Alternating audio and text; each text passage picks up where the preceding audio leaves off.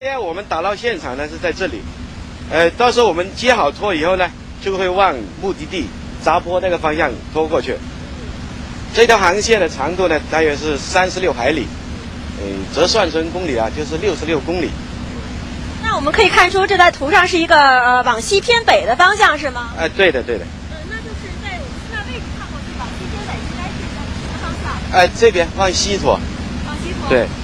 那好的，那目前德丰号情况是这样子的。那随后我们也会派记者登上德丰号，不间断的发回南海一号回家的最新的动态。主持人，嗯，好的，谢谢王倩，广东台的记者王倩为我们带回了最新的报道。现在啊，让大家呢视线进入到我们演播室的这个演播台上。看到呢，放着三个箱子，呃，接下来就是非常令人期待的时刻了。我应该说，我现在心情是非常紧张的，而且我跟两位专家说啊，现在呢，比我心情还紧张的一定是我的父母，因为我呢从小就爱砸碗，现在这个碗千万不能砸。刚才工作人员告诉我，千万拿稳啊。呃，先给大家展示一下，对，先给大家展示一下，这是一个碗。呃，李院长，就您初步来看的话，这个碗应该是生活当中用的是吧？对，就日常用的。嗯，再给大家看一下后面。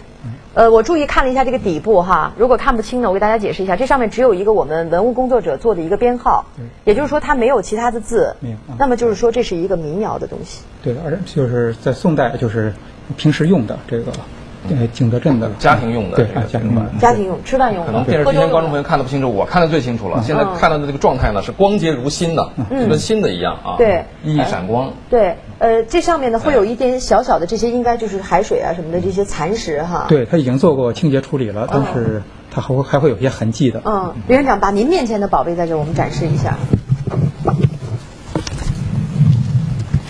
这个小心眼。嗯，这是盘子。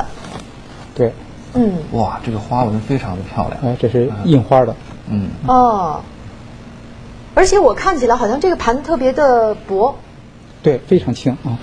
非常轻吗啊？手手感哪儿非常非常的窑口啊？这个是嗯，这里的都是那个有景德镇的，然后还有一个是有龙泉的，大家可以看景德镇龙泉的。嗯嗯，对这个。哎呦，这个简直这个太简直是新了！完全是新的一样啊，嗯就像现在制作的一样。你看，怎么会在海水之下它会保存的这么好呢，李院长？嗯，它就是刚才张伟也讲到这一点，估计它是在淤泥之下，呃，完全和外界隔绝了，氧气隔绝氧气隔绝了，嗯、而且它的呃在重压之下，它的环境非相对的非常。